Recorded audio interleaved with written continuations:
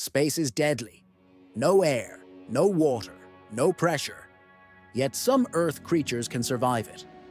And one of them might outlive us all. Animals that can survive in space.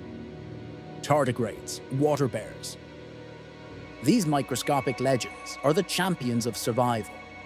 Tardigrades can endure extreme cold, intense heat, radiation, and even the vacuum of space. In outer space, they shut down their body, dry out completely, and reawaken when conditions are safe again. They're the only animals proven to survive direct exposure to space and still reproduce afterward. Bdelloid rotifers.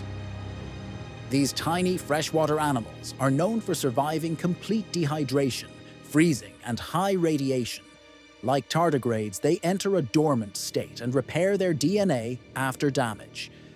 Though they haven't been tested as extensively in space, scientists believe they could survive similar extreme conditions. Lichens. While not animals, lichens, a symbiotic life form made of fungi and algae, deserve a mention. They've survived being exposed to outer space for weeks and returned still photosynthesizing.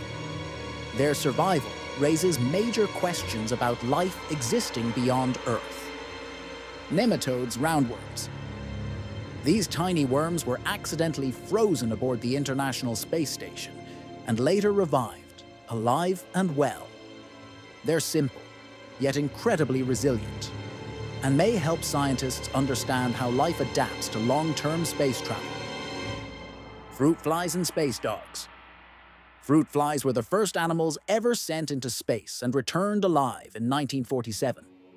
In the 1960s, dogs like Laika, Belka, and Strelka helped pioneer space biology. Although they didn't survive direct vacuum exposure, they handled orbital flights, proving that complex animals could survive in space-like conditions with protection. So, can animals survive in space? Yes. But only the toughest, tiniest, and most unkillable creatures have done it. And if life can survive up there, maybe we're not alone.